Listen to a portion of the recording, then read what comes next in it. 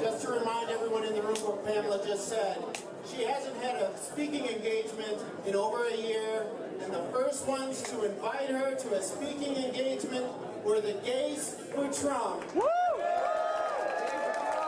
you so much, Pamela. And now I'm going to do the world's shortest introduction because this man needs no introduction whatsoever. The world's most dangerous faggot.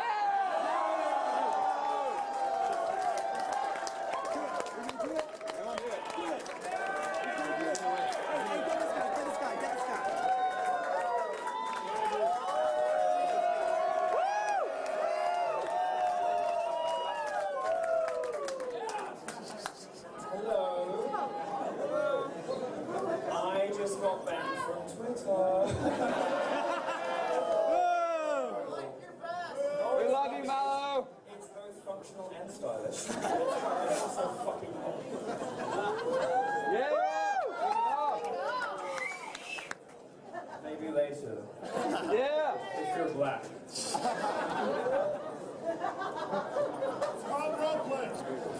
There's a war on.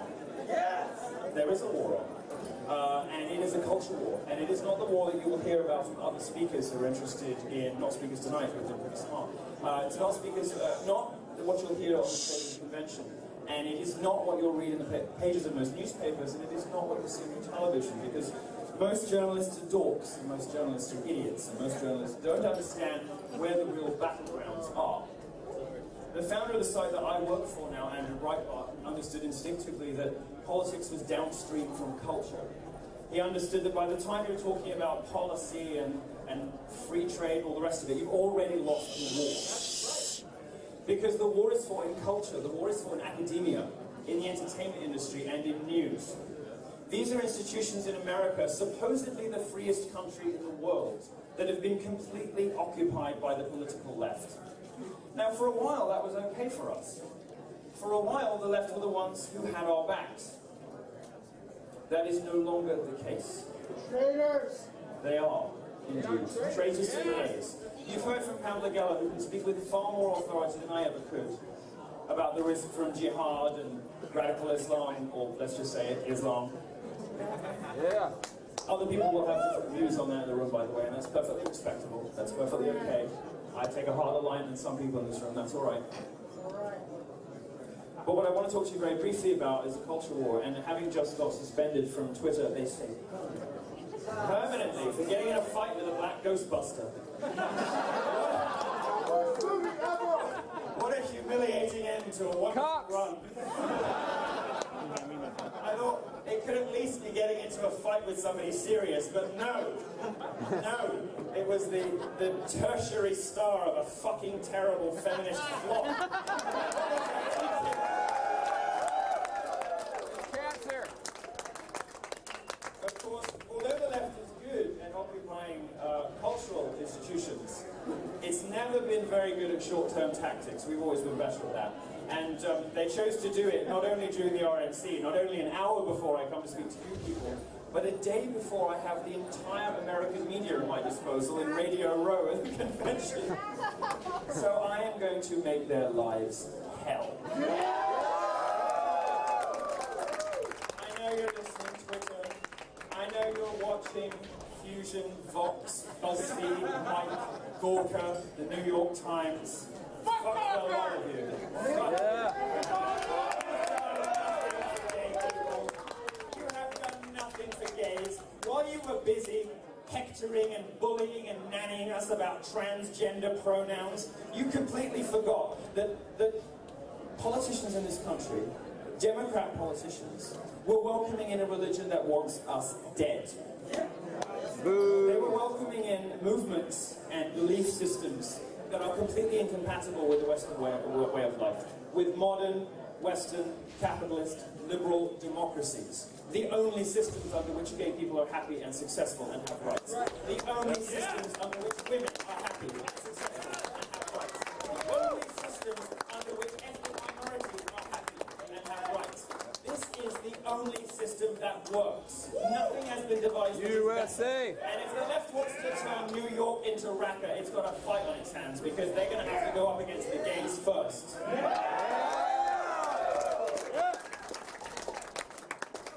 Now, the left thinks that it owns academia, the left thinks it owns the media, the left thinks it owns all of these things. Well, it's got a really nasty shock coming.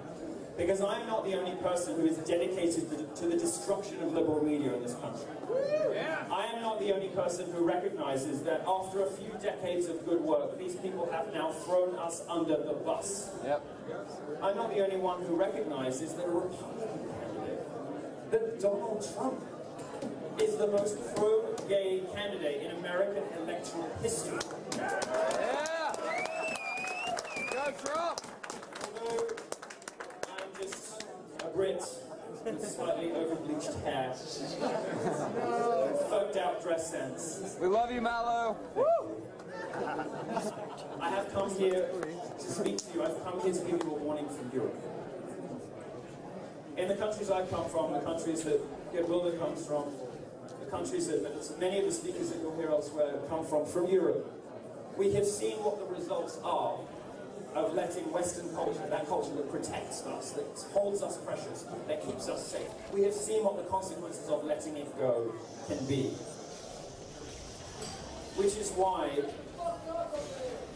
it's very you. I like I've got police in the back. Yes, if you're in the back talking, go fuck yourselves, go out. Ow, ow, ow, ow. If they're cold. Ow, ow. Talking. We have seen what the results of those odious decisions are, which is why next week I'm going to Sweden. Yeah. And in Sweden, which has the um, humiliating distinction of being the rape capital of Europe, thanks, of course, to Islamic immigration, what else? Where Islamic immigration isn't just hurting gays, as it is in in Orlando, but it's hurting women more than anything else. And I will be leading a gay pride march through the Muslim ghetto in Stockholm. Yeah.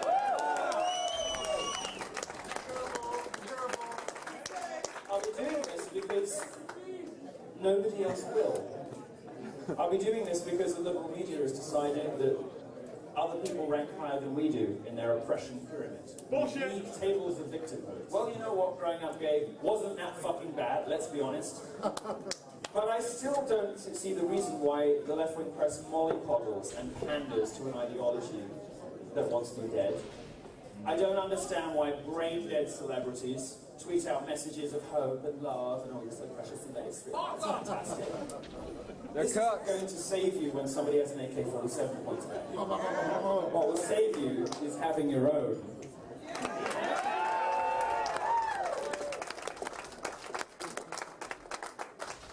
So I'm going to go to Sweden, and I'm going to ride in on a horse. Why wouldn't I? It's a Western country, I can do what I like. I'm going to ride in on a horse. There'll be 20 people behind me in V formation with flags at my face. Um, I'm not a hugely conceited person, as you know, but my producer insisted. And I'm gonna give a, I'm gonna give a speech to the people of Sweden. It's gonna be sort of Game of Thrones style, you know. It's like, Yeah. it's like, it's like Westeros. They call on the House of Yiannopoulos to go and save the Swedish maidens. You know what? Thanks. I like that. I like that. You know, I've got the hair already. Maybe I should. Well, I'm not taking dragons. I'm going to take micro pigs, and I'm going to let them loose. Oh, look at you! How could anybody hate you? You're so adorable. No, I'll let them loose. That's what. Bring bacon. No, I'm kidding. Maybe, I'm sorry. Hmm? The reason I'm doing this is um, that we all in this room, or at least, I'm not, I mean, as a Catholic, I kind of believe in this, but I try to avoid it in politics. Um, we all, I think if we're over the age of 25 perhaps, bear some responsibility for the bad situation we now find ourselves in, because we believed the left when they lied to us. We believed them when they said they had our back. We believed them when they said that Republicans were racist and sexist and misogynist and homophobic and transphobic. Are they? That was a lie. What they were instead trying to do is control you by calling you names. What they were trying to do is shut down your free speech, like they just did with my Twitter account, and they will come for you too. Make no mistake about it. Do not be fooled. You are all next. If you're the wrong group with the wrong beliefs, the left will come for you, and the left includes, social, uh, includes Silicon Valley. What gay people have to understand, and I'll leave you with this because I don't want to get back to drinking. So. Gay people bear some responsibility. It was us. It was we. It was this group who gave the left their power. They gave fashion designers, inventors, artists, politicians, going back further in history, warlords. We're on average smarter than uh, straight people, so we're overrepresented. All the capitalists Sorry about it. Uh, but we sort of did this. We gave the left the power that they have. We enabled them. We colonized Hollywood and the media. All of the other places they, they wanted us to be, and they wanted us to, to spread these, um, what have become insane, hateful social justice maxims. But what we have given, we can take away. And it's time for us to take it away. It's time.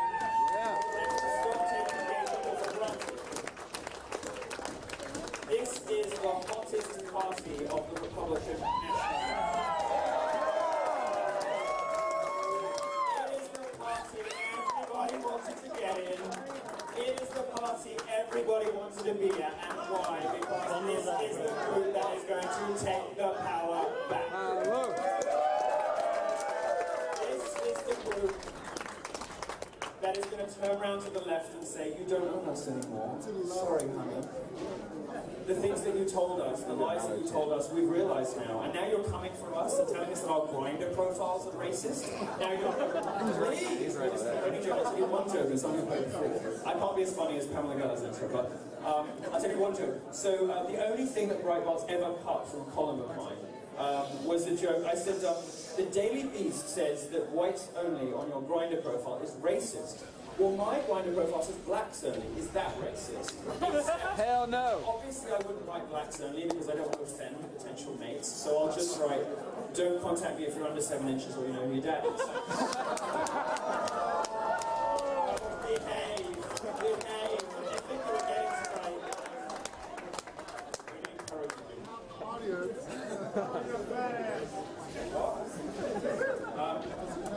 It is time for us to speak with one loud, clear voice and say no more. The left stranglehold on homosexuals is over.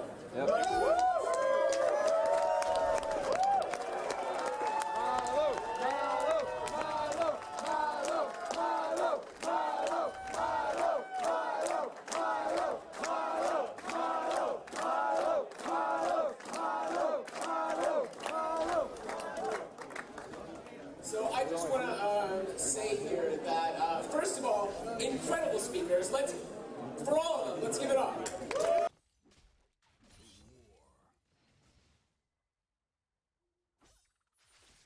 The Tom Woods Show, episode 697. Prepare to set fire to the index card of allowable opinion. Your daily dose of liberty education starts here. The Tom Woods Show.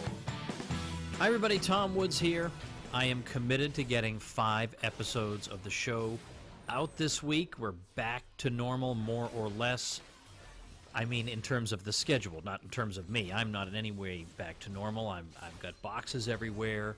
I've got the Mises University program coming up next week. I've, I've just got so much going on, but if I don't get myself back on a schedule, I'm going to go crazy. So I'm releasing this episode, even though it's a little bit late. One way or another, the five episodes are coming out. You know, maybe one of them bleeds over into the weekend. I don't know what may have to happen, but the episodes, doggone it, they are coming out this week. Now, this particular one, uh, you know, this on Monday, I had two people lined up to interview, and they both, I had to cancel them both because of complications relating to our move.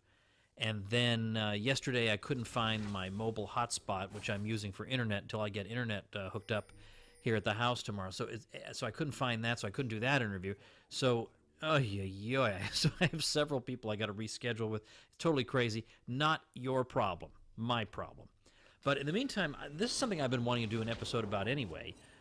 Bob Murphy, who you know is my co-host on the Contra Krugman podcast over at contrakrugman.com. Bob, other than on the episode where he debated Vox Day, has, I think, either been on the show only once or maybe even not at all since we started Contra Krugman. and I got to get that guy back on the show uh, here and there. We, I got to somehow persuade him to come back on.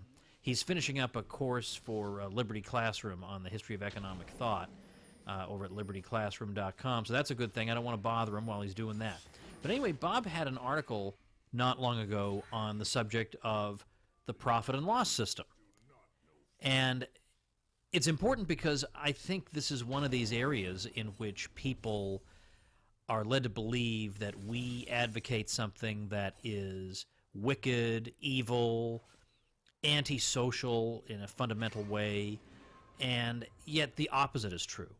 So that when we talk about profits and the, the value of profits and the importance of profit, we say these words, and yet they enter people's ears as greed, greed, greed, wicked, wicked, wicked. And uh, I want to explain something about profit. If we were to say, we don't want a society that's based on profit, you get this a lot from people on the left, on the socialist left. We can't have a society that's based on profit. We can't have an economy that's based on profit. Well, my glib response to that is always so you'd rather have an economy based on losses? All right, all right. I mean, I know I guess I'm being somewhat playful when I say that, but it's so important to understand the value, the importance, and, and the function of profit. And when you do understand it, I think an honest person would say, I think my previous objections were silly, they were misinformed, they were based on my having been in a position of ignorance at that time, because now I sort of get it that there is something important about profit. As a matter of fact, let's stop for a minute and think about the big picture. What does it mean in the grand scheme of things for a business firm to earn a profit? Or, by contrast, to suffer a loss? What does that actually mean? Well, when a business firm earns a profit, it means it has added value for consumers. It has taken a combination of resources, so let's say uh, land, uh, labor resources, intermediate goods of various kinds, raw materials, and it's transformed and combined them in such a way that people value that finished product more than they value the raw inputs. And so they've added value to these inputs. And the fact that they earn this profit is a validation by society of their decision to take these resources and combine and transform them in this way to produce that product. So that's a good thing. There's nothing bad about that. That's a good thing. We want business firms to do this. And when they earn these profits, they are in effect showing that the inputs that go into making these products had previously been undervalued. There was a profit opportunity there to combine these resources in such a way that they can earn over and above what they spent on the inputs, factoring in the the uh, the time factor that we that uh, we refer to as the interest rate. But the point is, the business firm has taken resources and done something with them that meets with the approval of many consumers, that satisfies consumer preferences. So there's nothing about that that's bad. There's nothing about that that we should lament or be angry about, or there's certainly no reason to be talking about greed, which has nothing whatsoever to do with this process. In fact, I like the way Bob puts it. He says, to bemoan a capitalist earning high profits is like complaining about a surgeon saving too many lives. If we think of the contrary case where the business firm suffers a loss, what does that mean? It means that the firm wants to produce some good, but pretty much, if not everybody in society, then a whole lot of people in society think that firm is making a bad decision. That it would that society would rather see those inputs used in the production of other goods. And they think that the diversion of those inputs into the production of this particular good is a waste. It's a waste of the resources involved. And so the loss is society's way of saying, are you really sure that this is the way you want to combine these resources? Because a lot of us think these resources would be better allocated in other ways.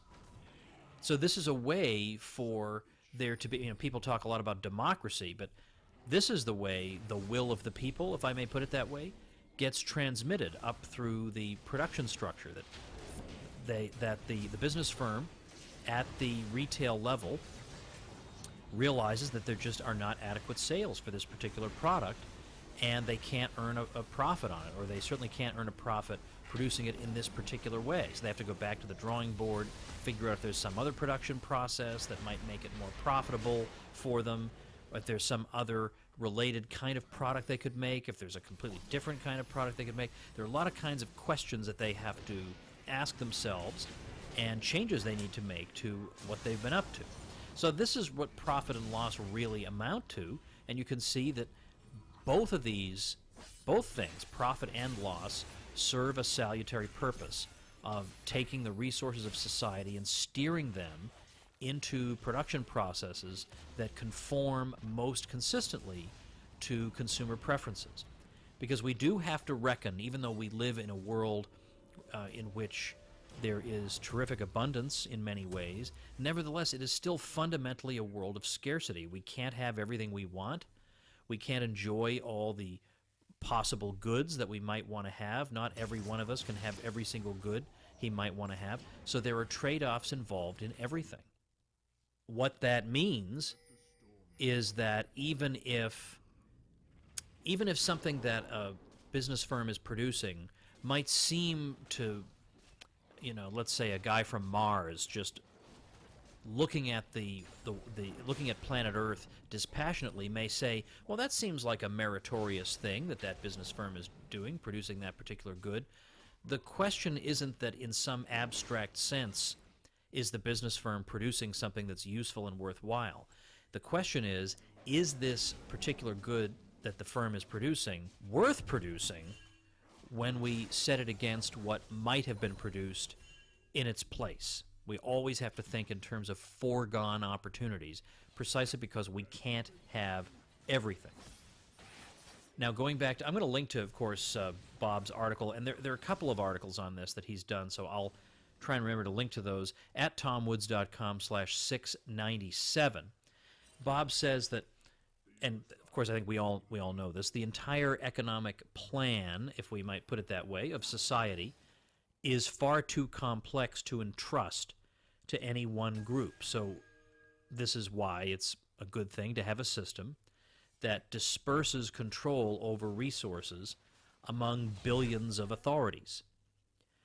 But at the same time, there needs to be some coordination when you have billions of people and each one is making decisions about production and and how to allocate his own labor services and you know what to produce and what to do and how to fit himself in to the global division of labor there's going to be some kind of coordinating mechanism.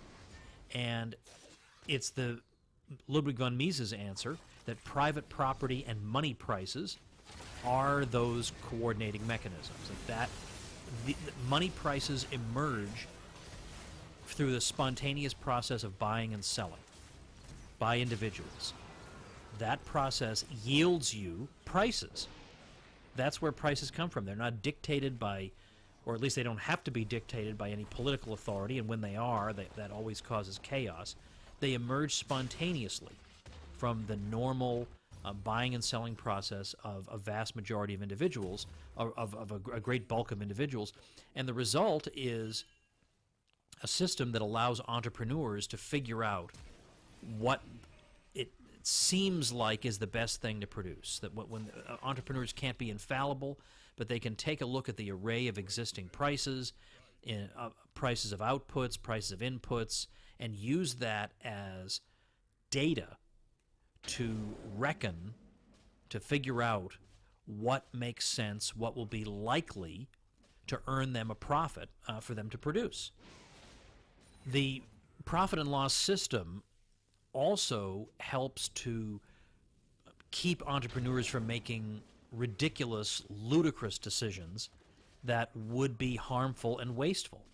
Bob gives the example of, let's say, people who are building apartment buildings and they want to, let's say, paint the walls uh, or let's say they're going to coat the interiors of these apartments with solid gold. Now, surely there would be some people who would love to have an apartment coated in solid gold, but would there be enough of those people to make that kind of decision economically sensible? Probably not, which is why you don't see apartments that are coated in solid gold. It's because gold is simply too expensive for the price is just too high for it to make sense as a, a wall coating in an apartment. But the mere fact that gold's price is high does not mean that gold, therefore, is too expensive to be used in any production process whatsoever. We know that gold jewelry can be highly profitable. And that's because people who are in the market for jewelry are indeed prepared to pay for gold, and they're indeed they're prepared to pay enough of a spread between what they would pay for a silver necklace as opposed to a gold necklace. They're willing to pay enough extra for the gold necklace that it is very much worthwhile for the jeweler to uh, produce or sell gold necklaces. And in fact, the very fact that gold is expensive is an indication that it, that it's, it's so expensive as to be prohibitive as a coating material for apartment walls. The reason it's so expensive is precisely that other entrepreneurs are bidding so heavily for it in the production of other things. And so pro- the profit and loss test makes sure that gold is used only in the production of things that make sense, that people actually want uh, gold to be used in. People are willing to pay, uh, people are willing to part with their own resources to, uh, to acquire, and they're not willing to part with their resources for solid gold coated apartment walls. So that, that would be a waste of gold, and the profit and loss system, in effect, steers entrepreneurs away from uh, economically destructive decisions like that and make sure that the resources are employed in ways that are socially beneficial and conform to people's preferences. Now, apparently, not long ago in Venezuela, there was some kind of law imposed that was intended to limit profits. Again, the, the, there's no reason you'd want to limit profits. As we've seen, profit is an entirely benign thing. There's nothing about it that you would want to limit. But they want to limit profits to uh, what what it would be legitimate for a business firm to earn to cost plus 30%. And that would be, they thought, fair. So, all right, well, again, profit is not something you'd want to punish because profit means that you or your, your firm anticipated consumer demand better than anybody else. And so that's precisely people who are good at anticipating consumer demand, they should be rewarded with r- more resources because they're the best at figuring out what people want and providing it to them at uh, a price that people are happy to pay. So those are precisely the people who should have command over resources. That's a good thing.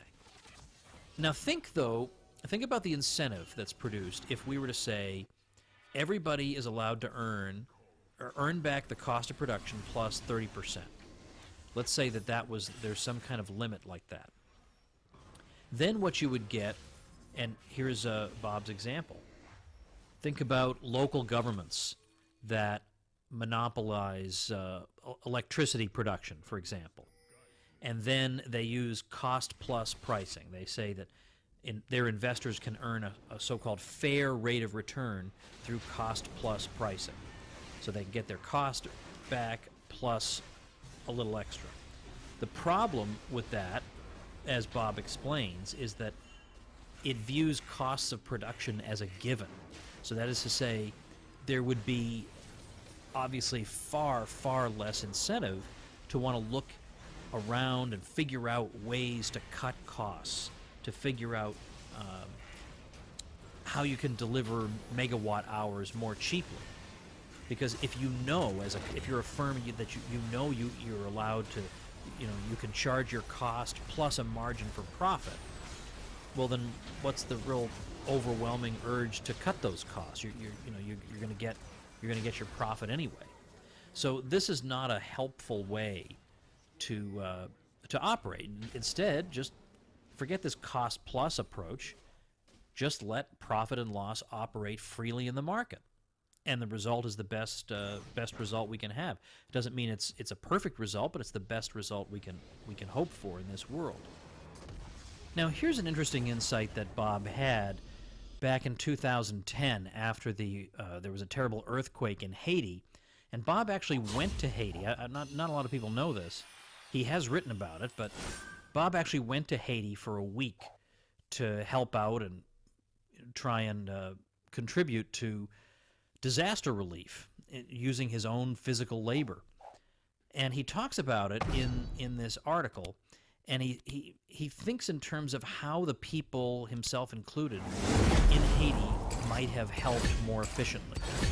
He says that basically he being the professional economist in his group was the only one thinking in the following way uh, everybody was just thinking well you know we've all got to go out there and contribute and we don't want people slacking off by having everybody sign up for the cushy jobs like like uh, preparing the poles for for building tents and, and things like that you know uh, assembling these poles.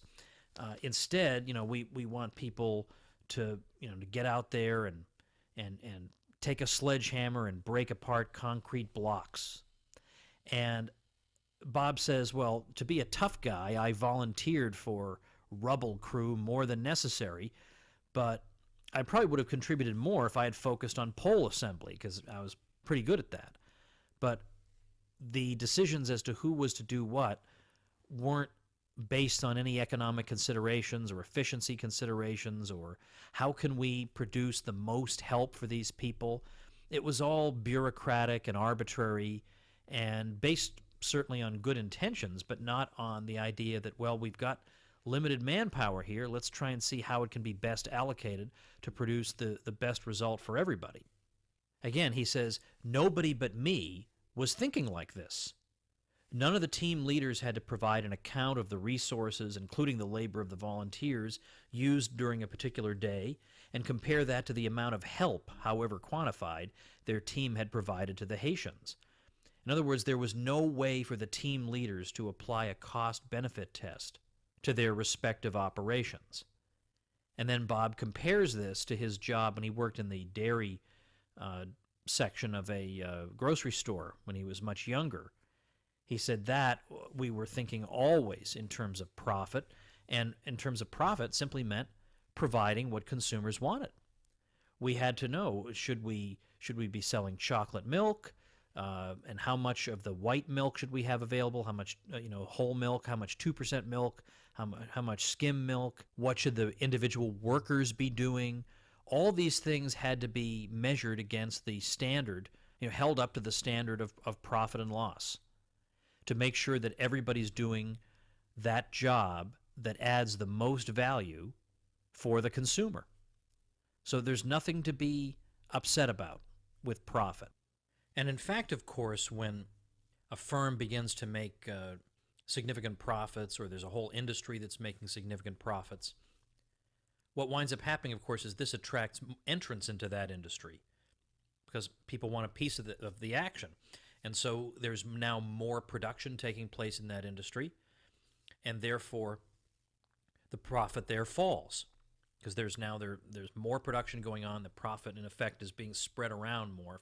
If we may think of it that way, and so that pushes profits down. Whereas losses lead to firms exiting an industry, and then there are fewer firms remaining, and there's less production, and the losses begin to cease. And so this is how production is regulated by profit. It's regulated by the profit and loss system. That we get, in other words, we don't get too much of, of something and too little of another. We get production that conforms as closely as possible to consumer preferences. And we get that through a voluntary system. It's, it's, it's realizations like this that I think turn people into libertarians. Uh, forget Austrian economics in particular, just libertarians. But when you understand this process, it's so extraordinary and impressive and amazing, and we never learned about it in school, and yet it's cooler than anything we ever learned in school. It suddenly makes you rethink everything. At least, in, at least for me, just to think that society, in fact, oh, how about that? Society seems to run according to certain principles, and maybe it ought to be left alone to do that. All right, now here's a terrible segue. Uh, here I've been talking about profit and how wonderful it is. Now I want to talk about taxes, which are terrible. But if if you have to pay them, you can at least try to pay as little as possible. And here I want to do what uh, I have pledged to do, which is to make mention of websites that people who listen to this show create, as long as they use my uh, special link. Uh, check out tomwoods.com slash publicity and you'll see uh, what that's all about. But one such person who used my link to get uh, hosting started uh, ajfreedomfinancial.com. And at ajfreedomfinancial.com, well, you'll see what it's all about when you get there. What, I want to tell you about is they will help you pay as little in taxes as you can possibly pay. And in fact, the creator of the site says, please mention that if someone signs up for one of my monthly plans starting as low as $10 a month, I will build that person a comprehensive tax plan, potentially saving them thousands of dollars in taxes. If they don't like my plan, they can always cancel their membership. And also, members of the Supporting Listeners program at supportinglisteners.com, if you contact Josh Fallenstein, who um, is with AJ Freedom Financial, if you like him on Facebook, private Facebook group, and you're a supporting listener, then uh, he'll create a tax plan for you for free. So, what Josh ultimately says is that it, it's his goal to try to ease the tax burden on people as much as possible because he has certain moral beliefs about taxation, and so he takes that very seriously. So it's it's very much worth checking out ajfreedomfinancial.com. I will insert that as the listener website mentioned at tomwoods.com slash 697. I'm going to be in Auburn, Alabama for the best week of the year, my favorite week of the year. It is the Mises Institute's Mises University Summer Program. And I went to it in 1993 as an undergraduate. I met Murray Rothbard there, and it really changed my life completely. So, it, to me, to be on the other side of things and actually doing some of the teaching at that event is a thrill I can hardly contain myself about. Now, the Mises Institute is making available access to this event for people who can't be there in person. They're calling it Virtual Mises University, and you can watch all the lectures, you can get and download all the slides that are used by the presenters. You can get access to all the readings. This is all with the exception of Judge Napolitano's lectures. The, there, there's no recording allowed. It's a very elite setup. You won't get that, but you'll get absolutely everything else. And it's for 20 smackers, and I think 20 smackers is an incredible deal for that. But let's see, what day is it? Probably you're hearing this on, if you listen on the day of release, July 2016. If you join supportinglisteners.com, uh, let's say between it, it's got to be got to be a newcomer. I'm sorry, not my existing people. You're wonderful people, but you don't qualify for this. But let's say between July 20th and July 25th. If you join supportinglisteners.com, I will pay that for you. And you can just get Mises University virtually for free. I'll pay that for you. You got to sign up and then write to me at on my contact page at tomwoods.com, and I'll do that for you because I love this program and I know you're going to love it too. All right, I got Murray Sabrin coming on tomorrow, and we're going to talk about the Republican convention. I haven't been able to watch it. I haven't got any cable set up here. I got moved into a house, but no doubt Murray is following it closely, and I'll certainly have a lot of things to say. So Murray Sabrin on the Republican convention coming up on the next episode. So thanks everybody so much for listening. Become a smarter libertarian in just 30 minutes a day. Visit tomwoods.com to subscribe to the show for free, and we'll see you next time.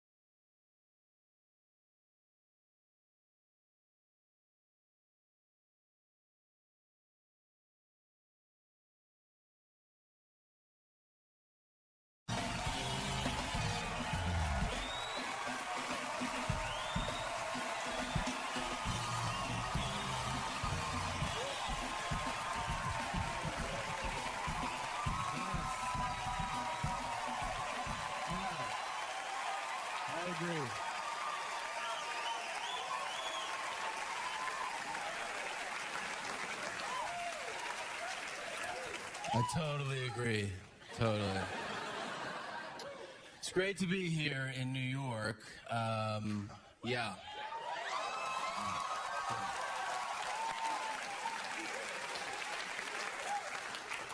Let's relax. I was just in Atlantic City, and I don't know if you're familiar with Atlantic City, but if you hate yourself and your family and your friends, take them to Atlantic City. It's basically like if Las Vegas had diarrhea. But then when you went to wipe it, you didn't use toilet paper.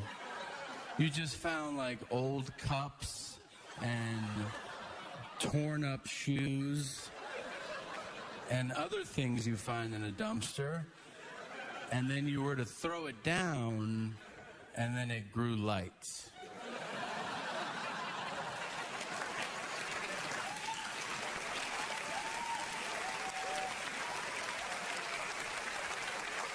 That would be Atlantic City. Every guy's like, hey, you know, Tony from over there, he said you might want to go over to the thing. And you and you're like, first of all, why don't you put on a shirt? All right, like, let's start there.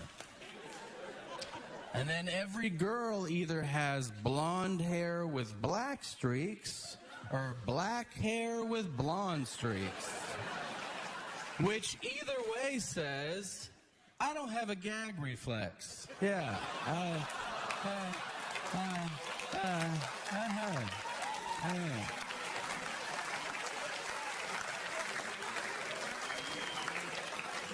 But you know what Atlantic City does have a lot of?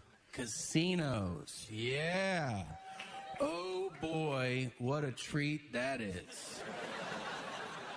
I love casinos because casinos are one of the last venues where you can see the extremes of society in one place. Where else can you get that? Rehab? The zoo? Casinos. Go to a casino. You can see a man on the casino floor. He's in a suit. He's drinking scotch. He's putting a few thousand dollars down on a hand. And you're like, yeah, dude, I can see why you're here. You know how to live. And then right next to him, you see another guy. And he's wearing jean shorts and a sleeveless shirt. And he's got four open wounds on his face. And you're like, yeah, I can see why you're here too. You seem lucky.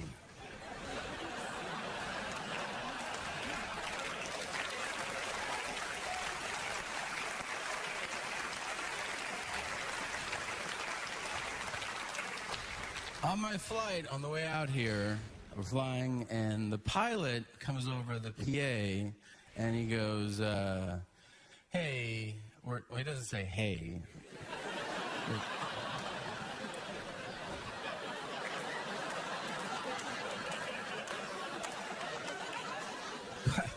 Pilots don't usually start their announcement with "Hey." Hey, I'm up front. What do you think of that? He just, he starts. I don't know how they start. He just starts. He's like, I'm the pilot. And we're all like, I totally believe you. Yeah. And then he goes, uh, We made up some time in the air, so we're going to be early. But then I just talked to the airport and it's congested, so we're going to be in a holding pattern, and now we're going to be late. and everybody's like, Why the hell did you tell us that, man? Like, keep that to yourself, you know? But then you accept it, right? I mean, I did. The guy sitting next to me, he did not accept it. He turns to me and he goes, just land the plane. And I go, where? Like, the place that takes planes is full. Do you want to land in a field right now? And he gets like more aggressive. He's like, You just land the plane. And I was like, Dude, you can't. You can't just be like, Well, we're coming. So, move. Here we come. But that's what's so great about being a pilot. Their knowledge is so specific, you can't question them, you know? Like, that pilot, I'm sure, was telling the truth. I'm sure that the airport was probably full. But he could have been trying to get a job from a flight attendant, been like, hey, why don't you suck it? And then she's like, well, we got to land the plane. He's like, I'll just tell them the airport's full. They're total idiots.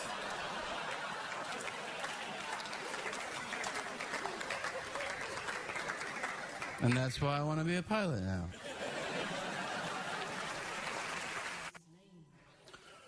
One of the things I love about being in a big city is that you get to experience the full spectrum of gay. You know what I mean? Like, most places, you go to the Midwest or something, you're like, hey, do you have any gay people here? And they'll be like, you mean that guy that wears pink and likes fruit? And you're like, no. There's way more than that. Like just today, I saw business gay, artsy gay, dungeon gay, and my all time favorite, gym rat gay. You've seen him. He's a bizarre hybrid of skinny and muscular. He has the legs of a flamingo and the chest of a lumberjack.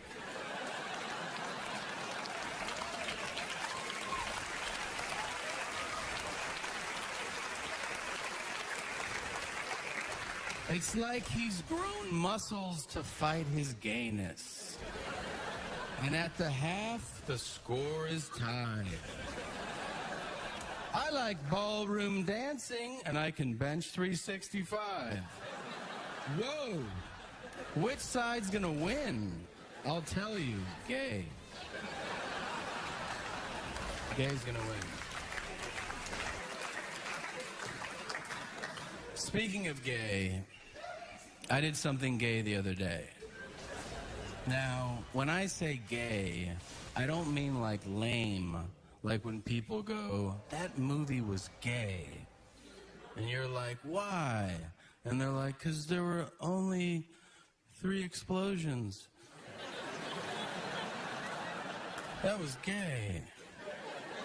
That's not what I mean. I mean, like, that movie was gay. Why? Because there were all these naked guys and they kept having sex with other naked guys. That kind of gay.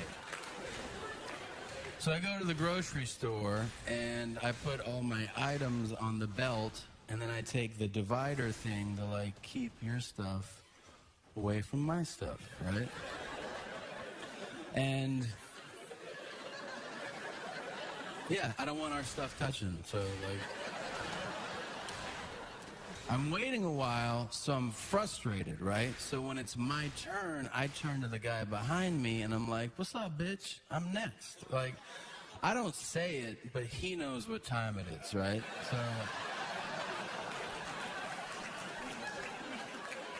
Right before I turn away from him, I notice out of the corner of my eye that this guy has this really, I mean, tremendously impressive bulge in his pants, right? Now, let's get something out of the way. There are a lot of fake bulges out there, okay? A lot of European guys, especially Italian guys, they will wear like really tight underwear and then really tight jeans, but that's like putting your in a headlock. That's not like a real bulge, okay? The guy I was standing next to, he had a bulge over here. Like that. Yeah. So naturally, I was like, oh my God.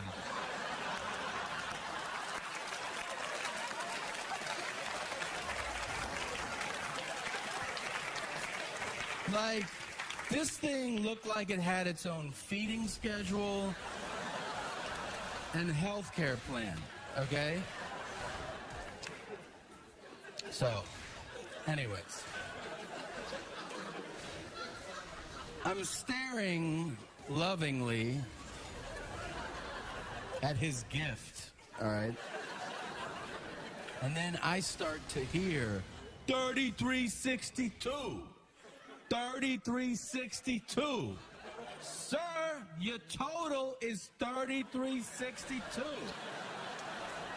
And I'm like, oh no. I'm supposed to pay right now, but everybody sees me staring at this guy's.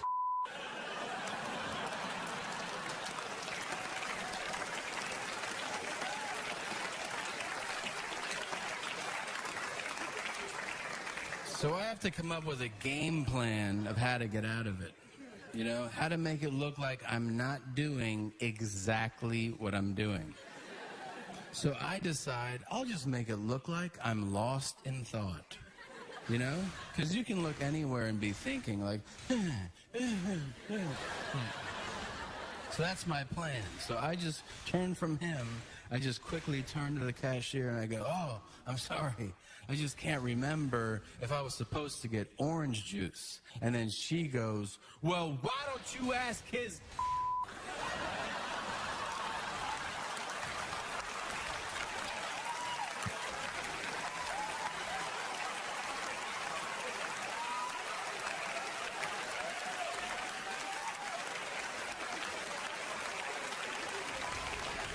watching television and I saw the show called How Winning the Lottery Changes Your Life.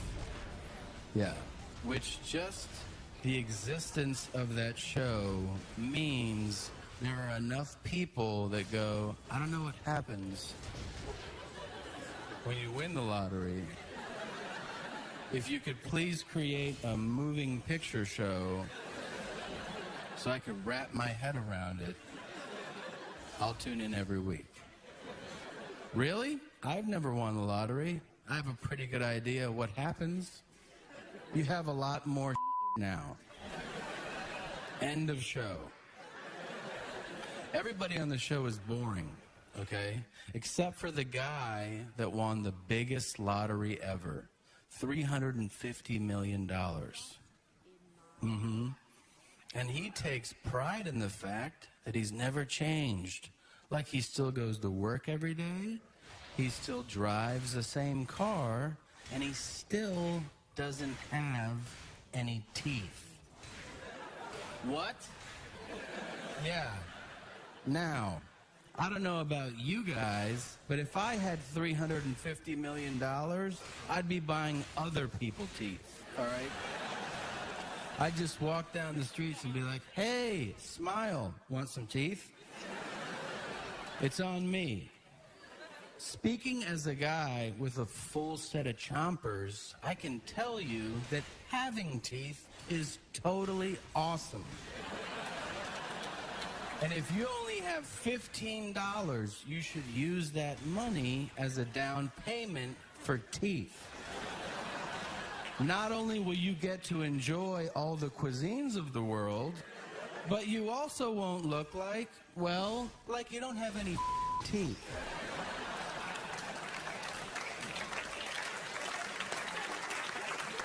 Get some teeth. Can we park at teeth for a second? Seriously? I'm meeting people all the time now that don't have any teeth. What is going on in your head where you think it's okay to walk around all mushy mouthed, you know? Just.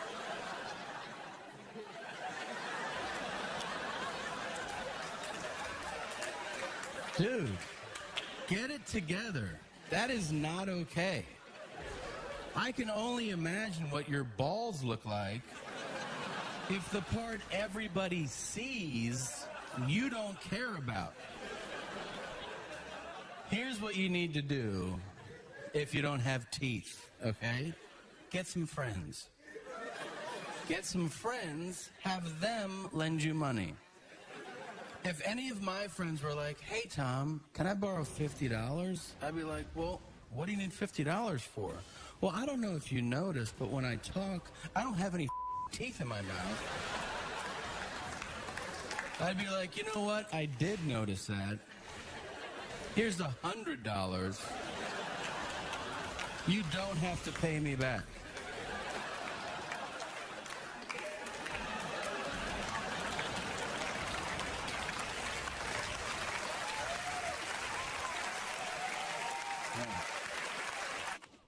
Luckily for me, there was another show on after that lottery show. This one was called I Didn't Know I Was Pregnant. Yeah.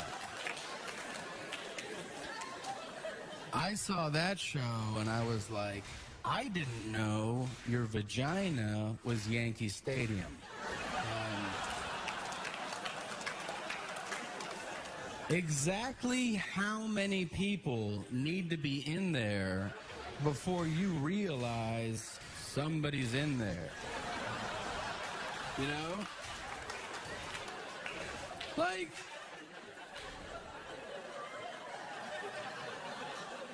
the show, if you haven't seen it, it's not like, oh, I missed my period. Turns out I'm six weeks pregnant. That's not the show. The show is, oh, I missed my period. Hey, what's that? That's a baby coming out of me. Now, here's something you should know about the show. Every woman on the show is Mexican, okay? They're all Mexican. So you know this isn't the first time that they've been pregnant.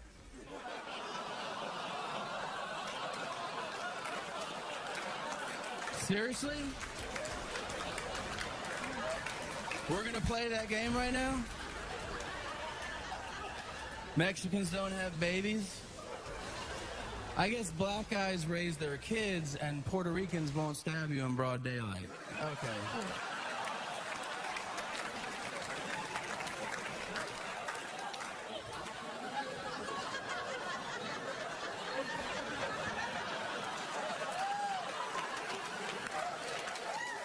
What game are we playing right now? The, the real world isn't real game? You want to play that game? Well, here's my question for all the senoritas that don't know there's a baby inside of you. Did you forget all the symptoms? You put on 60 pounds. You think that's from all the churros that you've been eating?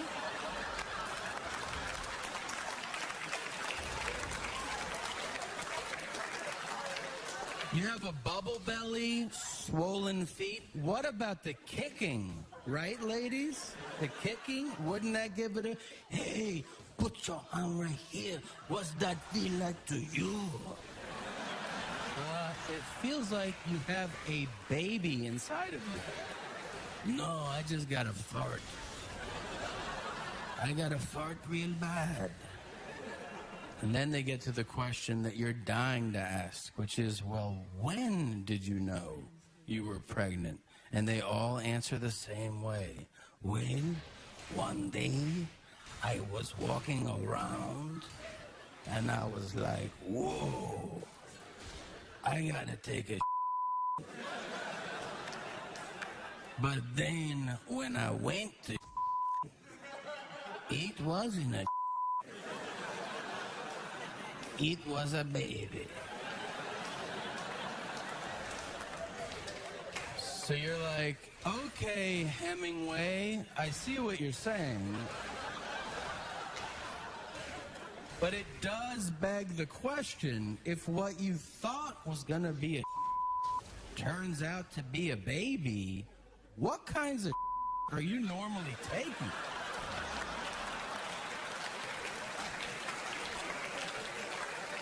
Like, I'm a big dude. I've taken some mean dumps in my life. I've never had a seven pound, five ounce. If I did, I would reevaluate everything in my life. Physically, psychologically, spiritually, I'm making changes, and so should you, Marisol.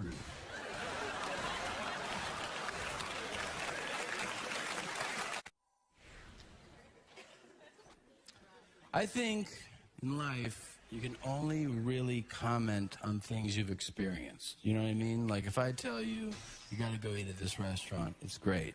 And then you go there and you're like, it was horrible. I can't really argue with you because you had your own experience. That's why I feel totally comfortable telling you that I don't like midgets. At all.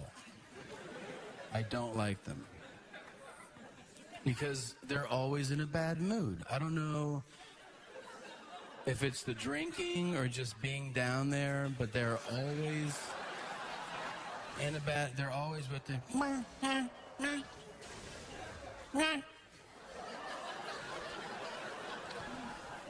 Which I find kind of bizarre because they walk like there's a really happy song playing in their head. You know?